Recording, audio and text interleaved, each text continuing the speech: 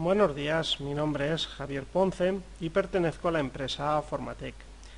En este vídeo nos vamos a introducir en los cálculos de los centros de almacenamiento de envases, de botellas, de GLP.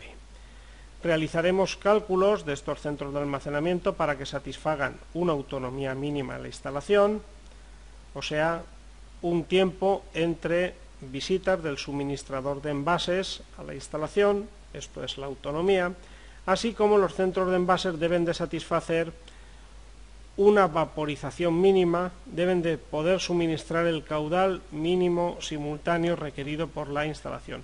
Por tanto, dos cálculos. Un cálculo para satisfacer una autonomía mínima de la instalación y un segundo cálculo para que las botellas suministren el caudal máximo demandado por la instalación en algún momento. Haremos estos dos cálculos y elegiremos el que nos ofrezca un mayor número de envases, o sea, el más desfavorable. A la vez que veremos la teoría, veremos también algún ejemplo para que el tema quede claro. Propiedades de los GLP. Los GLP son gases licuados del petróleo que contienen mezclas de butano y propano. Una botella de butano contiene mucho gas butano y parte de propano y viceversa. El butano y el propano son gaseosos a temperaturas y presiones atmosféricas y pasan a estado líquido a presiones relativamente bajas, propiedad que se aprovecha para su almacenamiento en unos recipientes a presión, se almacenan en fase líquida. Tienen un alto poder calorífico, el propano tiene una fórmula química C3H8, o sea, 3 átomos de carbono y 8 de hidrógeno, y el butano tiene una fórmula química de C4H10, o sea, 4 átomos de carbono y 10 de hidrógeno. Al contener más átomos de carbono y más de hidrógeno, el butano nos da mayor cantidad de calor, tiene un mayor poder calorífico. Un litro de líquido se transforma, se evapora en 253 litros de gas, vaporiza 253 líquidos de gas en el caso del propano y 240 litros de gas en el caso del butano. Por eso es muy importante no tener fugas, sobre todo en fase gaseosa, pues un litro de cualquiera de estos dos líquidos se transforma en muchísimos litros de fase gaseosa. Ambos son inodoros, no son gases tóxicos, aunque al, pesar más que el aire, lo desplazan y pueden provocar la muerte por asfixia, al impedir que el aire llegue a los pulmones y oxigene la sangre. Características del propano y del butano. Valores característicos. Tensión de vapor 8,5 bar en el caso del propano, 2,25 bar en el caso del butano. Estas son las presiones que hay dentro del envase de GLP. Presión para mantener el propano en fase líquida temperatura de ebullición, el propano hierve a menos 45 grados y el butano a menos 0,5 grados centígrados. Por eso se utiliza más el propano, pues cuando la temperatura cae por debajo de 0 grados, el butano deja de vaporizar y permanece en fase líquida. Tiene más poder calorífico, pero una temperatura de ebullición mucho más alta que la del propano. Densidad en fase gas, 2,095 para el propano, 2,625 para el butano. Vemos que es más denso el gas butano. Densidad relativa, densidad comparada con la densidad del aire, 1,62 para el propano, 2,03 para el butano. Al ser la densidad relativa más alta de 1, se observa que estos gases tienden a pesar más que el aire, son más densos que el aire y por tanto ocupar las partes bajas de las estancias densidad en fase líquida, 506 para el propano, 280 para el butano. Poder calorífico superior en kilocalorías kilo, kilocalorías metro cúbico, 12.000 y 25.140 kilocalorías por kilo y por metro cúbico, y en kilovatios el propano 13,95 kilovatios hora por kilo, y 29,23 kilovatios hora por metro cúbico. El butano, cambio, tiene en kilocalorías por kilo 11.900 y en kilocalorías metro cúbico 31.240. Vemos que da más cantidad de calor un metro cúbico de butano que de propano.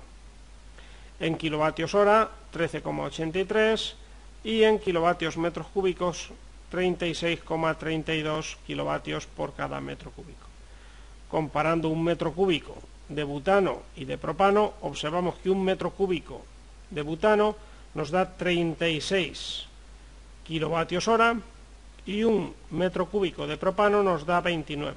Tiene más poder calorífico el butano. No se utiliza tanto, pues deja de vaporizar cuando la temperatura exterior es inferior a menos 0,5 grados centígrados. Por ello solo se utiliza en el interior de las viviendas, para una o dos botellas, para una encimera de gas, un horno, etcétera, etcétera.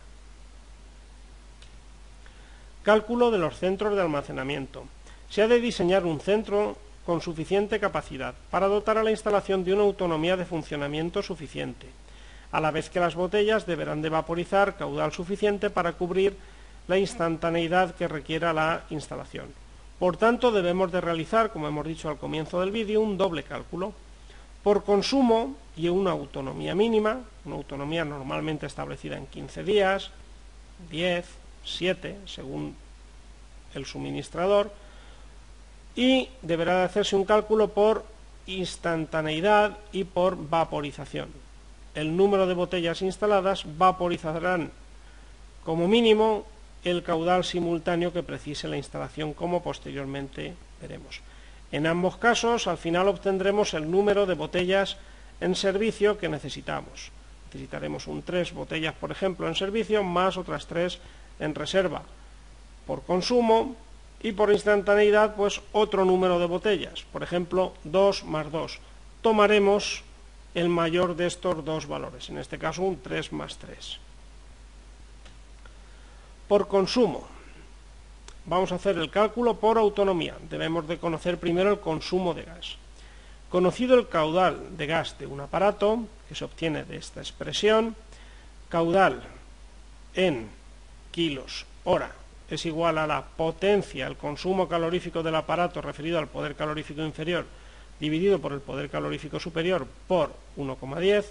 Estos cálculos, en vez de hacerse en metros cúbicos hora, se suelen hacer en kilos hora, pues el consumo es el caudal del aparato por el tiempo de funcionamiento. Consumo es igual a caudal por tiempo. El caudal lo tenemos de la expresión que hemos visto ahí arriba y queda por tanto conseguir el dato del tiempo de funcionamiento diario en horas.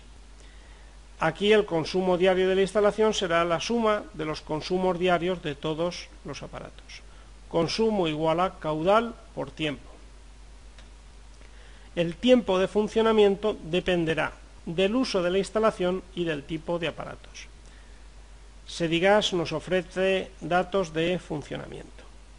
Por ejemplo, en viviendas las horas de funcionamiento diarios son las cocinas una hora de funcionamiento al día. El agua caliente acumulada 2,5 horas de funcionamiento al día. La calefacción se estiman 6 horas de funcionamiento al día. Hostelería, otras duraciones, otros tiempos de funcionamiento al cabo del día. 3,5 horas de funcionamiento las cocinas, 2,5 horas de funcionamiento al día los aparatos de cocción, 4 horas de funcionamiento al día el agua caliente sanitaria acumulada, 8 horas de funcionamiento al día la calefacción, 4 horas de funcionamiento al día las secadoras de ropa. Colegios, 2,1 horas de funcionamiento al día las cocinas, 1,5 horas de funcionamiento al día aparatos de cocción, 2,4 horas de funcionamiento al día el agua caliente acumulada y 4,8 horas de funcionamiento al día la calefacción. Lavanderías, 5 horas de funcionamiento al día los aparatos para la lavandería. En la industria Habrá que asegurarse que los datos sean correctos, preguntar por los turnos de trabajo y si existen datos en industrias similares. Nos ofrece unos datos Sedigas, por ejemplo, que las cocinas funcionan 2,1 horas al día, aparatos de cocción 1,5 horas, agua caliente acumulada 2,4 y calefacción 4,8 horas. En ausencia de datos podemos tomar estos tiempos de funcionamiento y así obtener los consumos diarios de los distintos aparatos. Hagamos un ejemplo de consumo. Una instalación doméstica dispone de encimera a gas de 5 kilovatios, caldera de calefacción de 12 kilovatios, termoacumulador de agua caliente de 4 kilovatios. Estos son consumos caloríficos referidos al poder calorífico inferior. El objetivo es calcular el consumo diario de GLP. El poder calorífico superior es igual a 13,95 kilovatios hora por kilo. En GLP, para cálculos de consumo, es más cómodo expresar el poder calorífico en kilovatios hora por kilo. Tomando los tiempos de la tabla anterior que hemos visto, calculemos el consumo diario de GLP. Comencemos los cálculos. Utilizando esta expresión calcularemos el caudal de los aparatos. El caudal de la encimera serán 0,39 kilos hora, el de la calefacción, el caudal será 0,95 kilos hora y el caudal del agua caliente 0,32 kilos hora.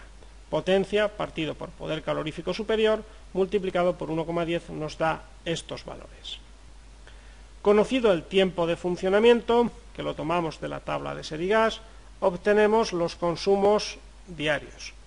Consumo de la encimera, una hora de funcionamiento al día por 0,39 kilos hora de caudal es igual a 0,39 kilos de consumo al día.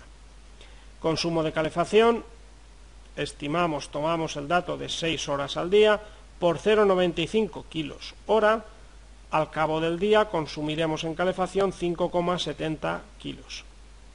Consumo del termo de agua caliente 2,5 horas al día por 0,32 kilos hora, 0,80 kilos al día. Total consumo diario de propano, realizamos esta suma, 6,89 kilos al cabo del día. La capacidad de los envases son, en el caso de envases industriales de propano, no suele haber envases industriales de butano, son de 35 kilos.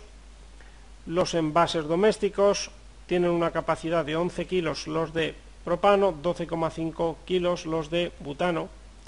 Una vez fijada la autonomía, según el grado de servicio del suministrador, que suele ser 7, 10 o más bien 15 días, se calcula el consumo para esos días y el número de envases a instalar será, en este caso, el número de botellas es igual al consumo dividido por la capacidad del envase. Y así se determina el número de envases a instalar por consumo por autonomía. Terminemos el ejemplo, hagamos un ejemplo de cálculo del número de envases por autonomía. Si continuamos con el ejercicio anterior, para botellas industriales, por ejemplo, y 350, o sea, botellas de 35 kilos, imaginemos que deseamos una autonomía de 10 días, veamos el número de envases a instalar por autonomía. Resolvamos. Consumo es igual. Queremos una autonomía de 10 días por 6,89 kilos al día que hemos obtenido en el ejemplo anterior de consumo diario, tenemos un consumo de 68,9 kilos en 10 días.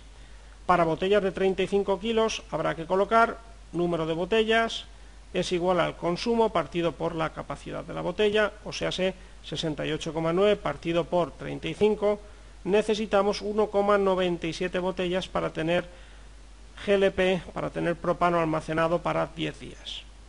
Redondeamos al inmediato superior, por tanto se instalan dos botellas en servicio y dos en reserva.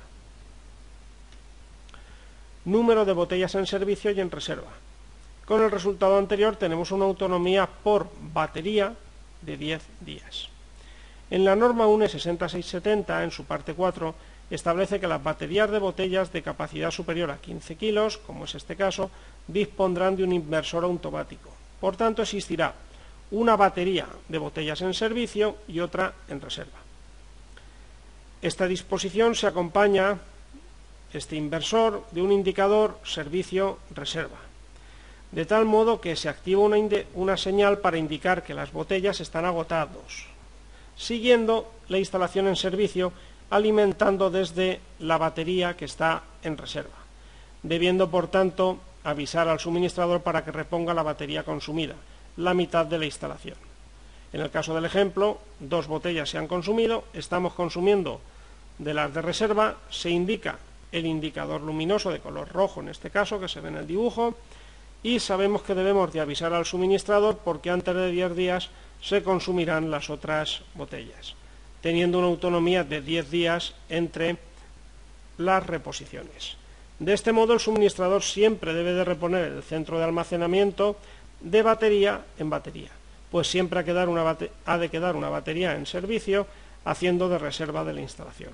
Las reposiciones del suministrador es cada vez que está consumida una de las baterías la mitad del centro de almacenamiento. En el caso del ejemplo, se consumen dos, se avisa al suministrador que acude mientras que tenemos las otras dos en servicio, repone esas dos, cuando se consumen las dos que estaban en reserva, vuelve otra vez a indicárnoslo el inversor, el, maniscopio, el indicador servicio reserva, debemos de volver a avisar al suministrador y mientras tanto tenemos las dos de reserva y así sucesivamente.